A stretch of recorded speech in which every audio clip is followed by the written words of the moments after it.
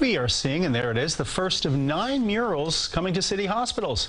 NYC Health and Hospitals unveiled the murals today at Kings County in Flatbush. Artist Jody DeReal was born in the hospital and worked with the community to design and paint the mural and celebrates hospital staff. Wow, that's beautiful. Oh, that's so nice. Very nice. It celebrates hospital staff, the patients, and the area's Caribbean heritage. Great job. Beautiful stuff.